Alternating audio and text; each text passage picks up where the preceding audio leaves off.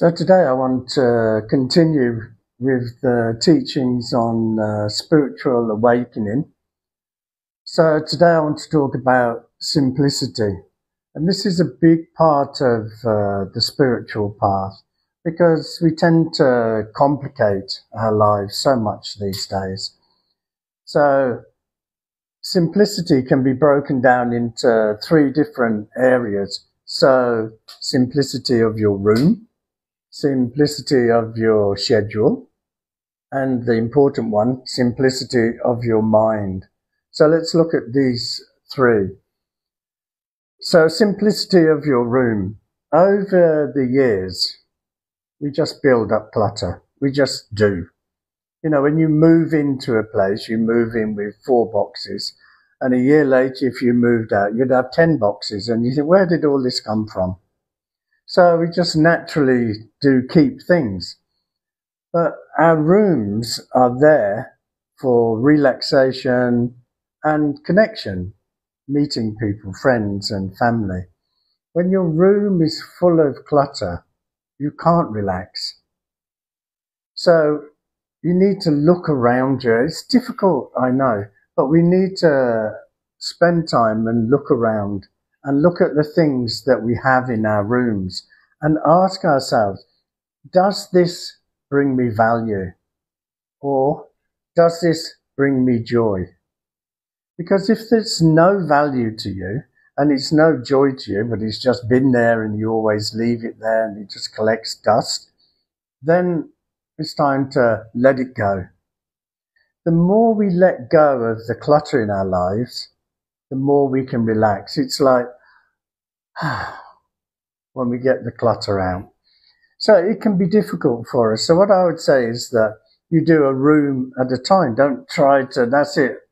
After today, I'm going home and I'm going through every room and I'm going to clear out because that's impossible today. Pick a room and just pick certain time, 20 minutes, 30 minutes and start doing because it becomes easier. And you can whatever you have, you can put into four categories. So these are the things I want to keep. These are the things I want to donate. These are for recycling. These are for throwing out. If you split them into those categories, then you can start donating things, getting them out, recycling, throwing things out. Then you're left with space. If you imagine your room is full of furniture and full of things, it's so hard to get round. And that is what you're doing to your mind. You're putting so many things in your mind that it's hard for you to think properly. So by simplifying our rooms, it gives us that space to relax, to breathe, to be more contented. No, I know there are people who love collecting things. I have to say I'm the opposite. I throw things out and then think, oh, I might have needed that. But I don't like clutter. I don't like lots of things around. But I go to people's houses and there's old magazines and newspapers and broken furniture that they're keeping just in case one day, who knows all these things, and there's lots of ornaments that they've collected over the years. I never settle in a room like that, going into somebody's house where it's open and spacious. It's so much easier to relax. So the first part of making your life more simple is to clear out all of that clutter, all of that waste, all the things you don't need in your life if it is not giving you value and if it's not giving you joy, you don't need it. Yeah. And once you've cleared everything out, before you bring something new into your room, you need to ask yourself that question. Is this going to bring me value or is it going to bring me joy? Because again, if it isn't, don't bring it in because again, you'll just start your clutter. So simplifying your room is a great way to start simplifying your life. It's an easy way to start doing it. It's out of the three. That is the easiest to do. to clear the, clutter from your room. The second part is your schedule, and this is where it starts to become difficult. We seem to live in a world where busy is great. Everybody, oh, I'm so busy, I'm so busy. How come? You know, years ago, we didn't have such things as email and social media and WhatsApp. We, you know, we didn't have the opportunity to send a message. We'd have to have an old phone, that, and if the house didn't have a phone, you couldn't contact them. Or if they're further away, you used to have to write a letter.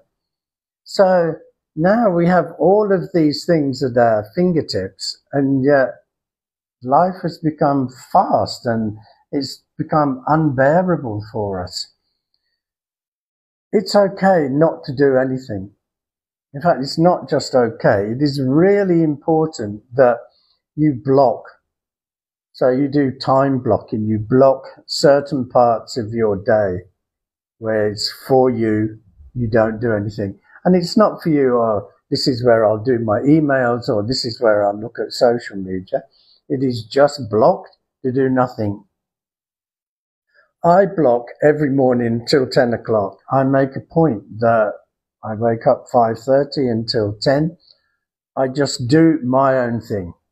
So I walk the dog, I do my practice, wash and dress and breakfast, and then 10 o'clock, start, start doing teachings or whatever. But before 10 o'clock, I mean, you have to be uh, open I mean, sometimes I have to do sessions for America or outside countries, so I have to do early.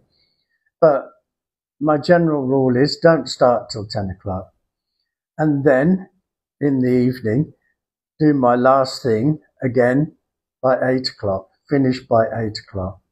So after 8, between 8 and 10 is my time, and between 5.30 and 10 in the morning is my time. It's blocked and I don't want anything to interfere with that.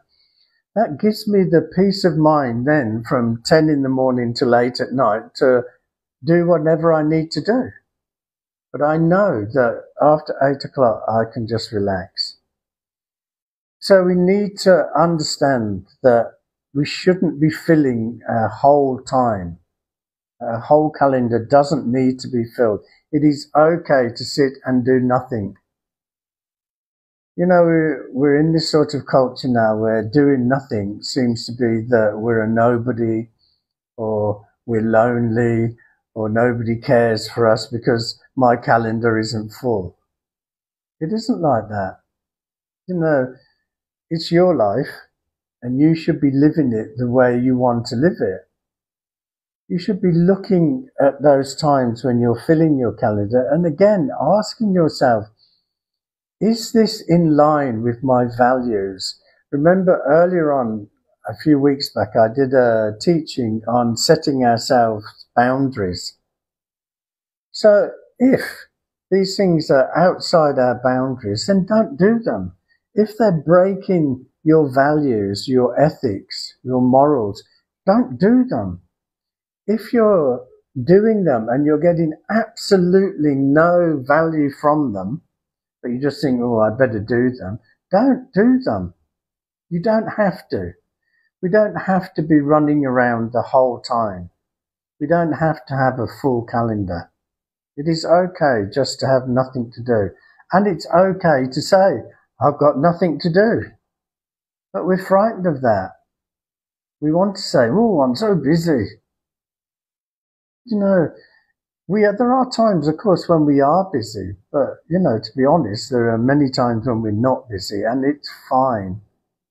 I remember before I became a monk and I was living in London and working in London. Every Monday morning when we went back to work, every, oh, what did you do over the weekend? Everybody's, oh, I did this, I did this. I was under pressure to, to do something. I thought, my God, I can't, what can I say? I'll have to do something interesting. So sometimes I just did something interesting just so I could say, oh, yeah, I went here. But later on, as I got older, I thought, why are you doing that? It's okay just to say, actually, I had a quiet weekend. I got up late on Sunday, just sat, read the newspapers all morning. How wonderful. But, you know, we were frightened in them days. I was frightened to say I'd done nothing. It is okay yeah, to not do anything. Think about it. If these things are not in line with your values and it's not giving you joy and happiness, then take it out of your schedule. You know, you need to also have a look at the information that you're putting your way. A lot of the time we sit sitting looking at things on social media that we don't need to be taking on board. You know, we don't need to be filling our heads with information the whole time. There is such a thing as information overload where it puts so much pressure on us that then we start to worry about things that are happening the other side of the world that we have no control over. It is okay to be compassionate and be empathetic and, you know, feel sorry for what's happening to people. But we don't need to get so involved in the whole thing when we can't do anything about it. I mean, if we can, then okay, good.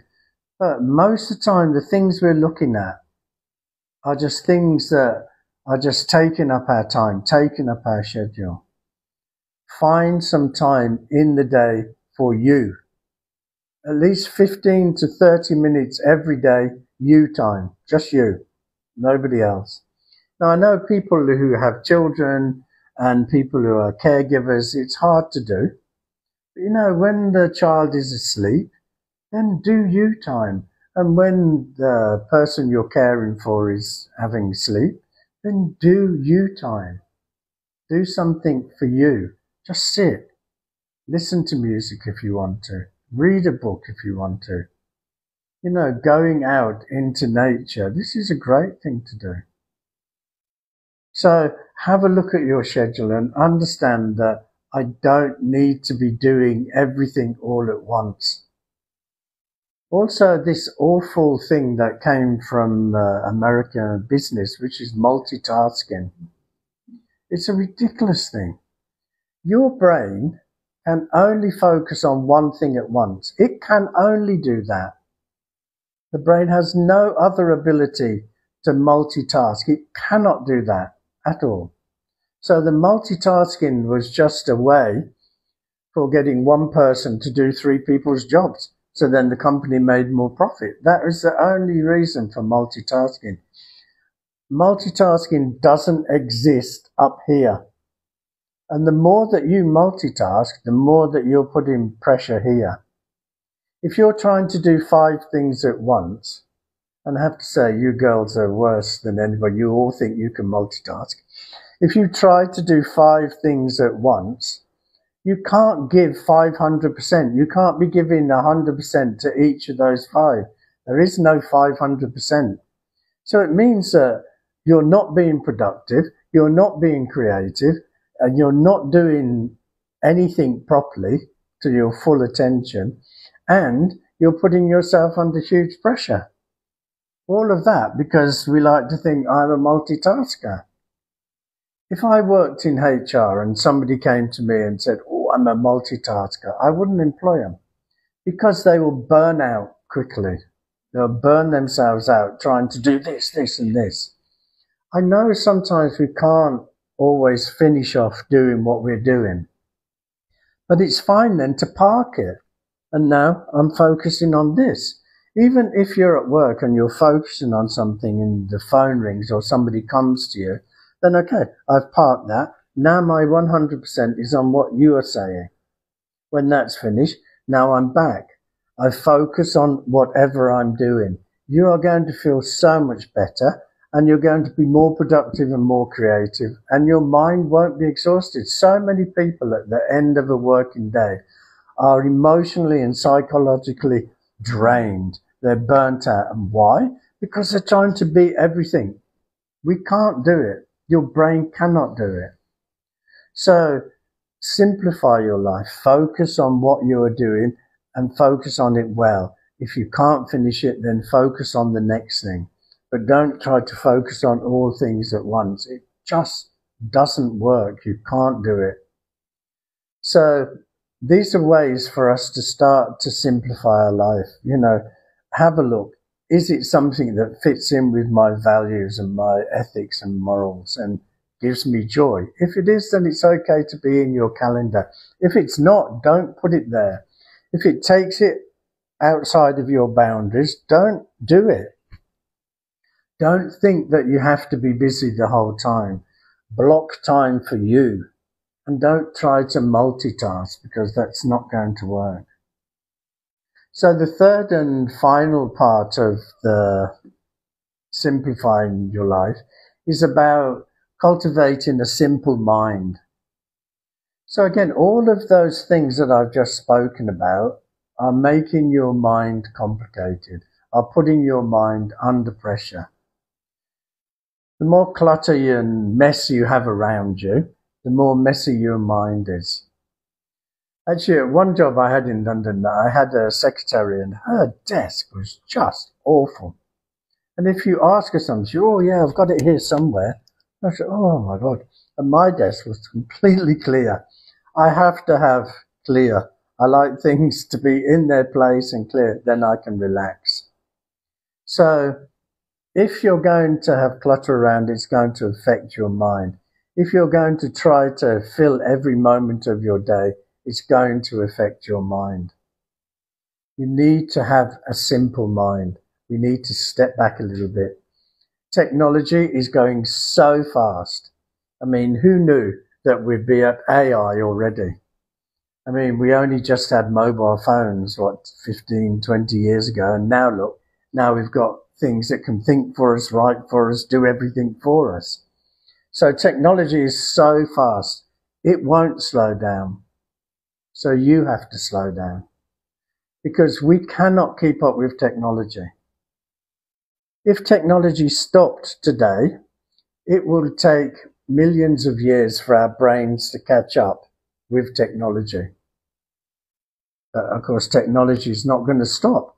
It takes so long, millions of years for our brains to evolve you know, we still have the reptilian brain, the brain we had when we were out there, you know, bashing other people on head with uh, bits of wood and everything and killing our own food and that. We still have that brain. And we don't need that brain right now. But it takes evolution, evolution so long. You know, we have this prefrontal cortex, which is great for thinking, planning, creativeness.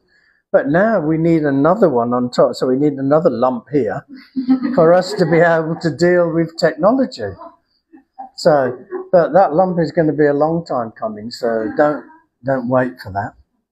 I think we're going to miss that one. So, you know, you have to slow your life down yourself. And doing meditation every day is a great way of doing that, particularly in the morning 10 to 20 minutes every morning. Start off like that. Start off calm.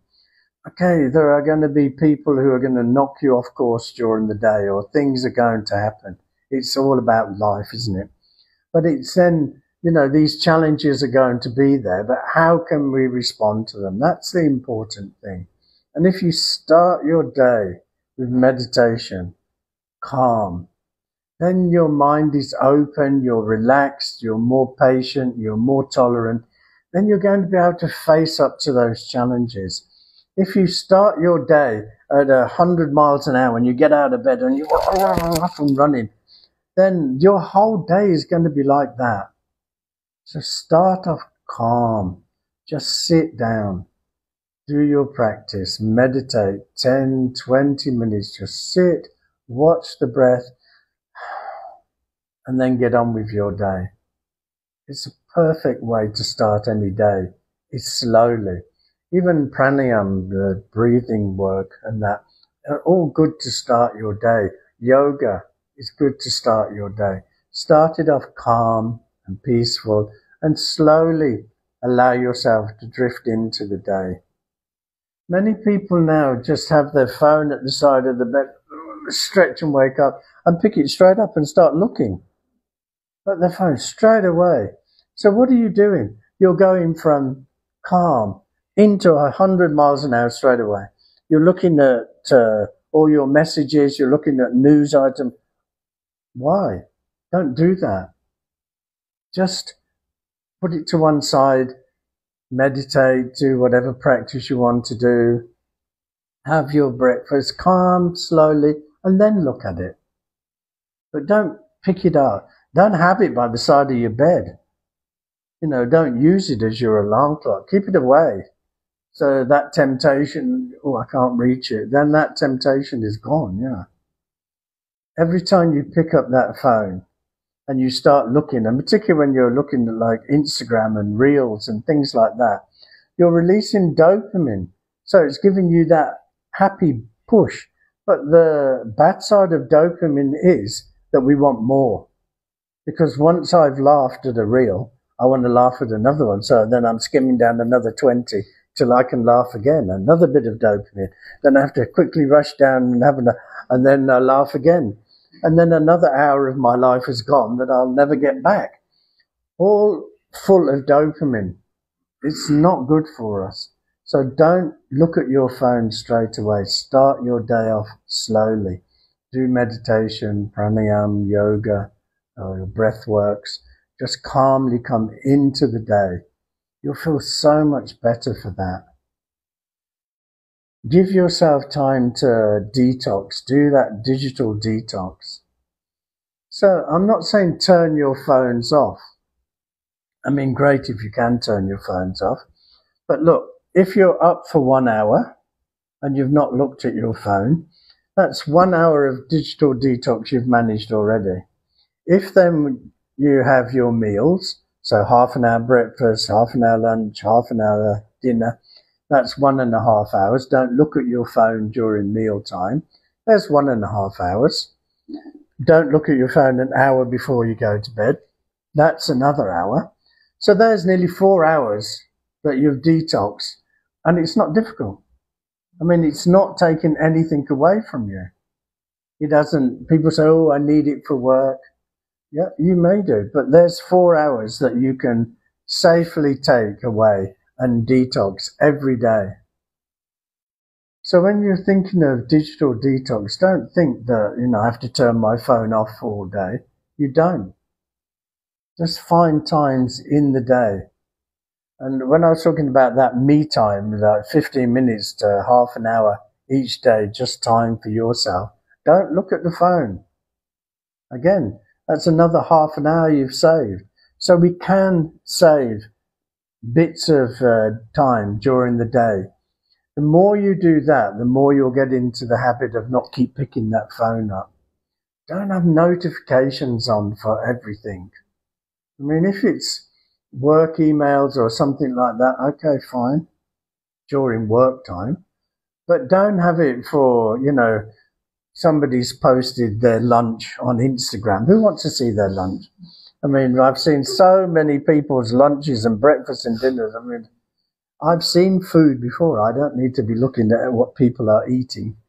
So, you know, we need to look ourselves and detox throughout the day, find time throughout the day Journaling is another great thing to do if you can do that. So it can be a full journal. At the end of the day, you can write. It's not a diary, so it's not, I did this today, I did this. It's more about feelings. I felt this today, or this, you know, happened to me, and I had this feeling, had this emotion, this behavior. I need to look at this. It's about that. It's more about your mental state. It's not about what I did today. Or if that's too difficult for you, then do a gratitude journal and just look back over the day and write the things you're grateful for. Write one thing I was grateful for this situation. I was grateful for this person. I was grateful for this possession and I was grateful for myself for something. Just write those four each day. One thing of each of those four things each day. Because by journaling, it helps us to release. You know, when you talk about something or when you write something down, it helps us to let it go. When we keep things up here in the head, they just become bigger and bigger and bigger. And we just expand them and we just, our imagination runs wild and we catastrophize and generalize and it becomes a huge thing. When you put it down on paper, you look at it, it's not such a big thing. Or I can see a way out of it. But when you leave things up in your head, they're very difficult to deal with because they will just grow and grow. So journaling is a great way for helping us to have a more simple mind. So these are certain things that we can do to simplify our mind. Meditation, mindfulness, pranayama, breath work, all good things to start your day with. Being mindful throughout the day. Keep every now and again bringing yourself back to the present moment is going to help simplify your mind. Don't overdo things. So don't, you know, bombard yourself with over information. Don't spend too much time on social media. It's not good for us. I see in certain places now in Australia, there's one state that have banned children from social media until after the age of 16. Fantastic. Because our minds are just like sponges at that age and they're taking on things, they're seeing things they shouldn't see. You know, you can't help it. If you're on social media, things pop up and oh my God, I don't want to see that. But, you know, once you've seen it, you've seen it. You can't unsee things. So make sure that you do digital detox. Keep your calendars for yourself. Make sure you do what you want to do and not what you think other people expect you to do or what you think society expects you to do. You do not need to be busy the whole time. And unclutter your rooms because by doing that, you'll unclutter your life. And if you have a desk at work, make sure it, at the end of the day you leave it tidy. Because when you come back, that's the first thing you're going to see. And if you see a big mess, already your mind then is going off. So make sure that you keep your desk tidy or you keep your workspace wherever it is tidy. All those things are going to help you on the spiritual path. Because if your mind is calm, peaceful, simple, relaxed, you're going to keep on that spiritual path if your mind is a clutter and your room is cluttered and your whole schedule is cluttered, then what time, what room do we have for the spiritual path? We don't. So living a more simplistic life. You see, people misunderstand the simplistic life. They think the simplistic life means selling everything and living in a you know, tarpaulin outside somewhere and, you know, not having running water or electricity. Yeah, you can do that if you want to, but it's not about that. It's more about what you have around you, how you deal with your schedule, and how you simplify your life, your brain, your mind. They are the key points of simplicity. So you can keep driving your car, living in your house.